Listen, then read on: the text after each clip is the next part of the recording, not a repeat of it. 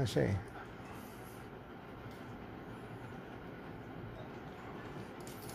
Ah, medyo malaki ito tayo, kalahati lang kanyang katawan to.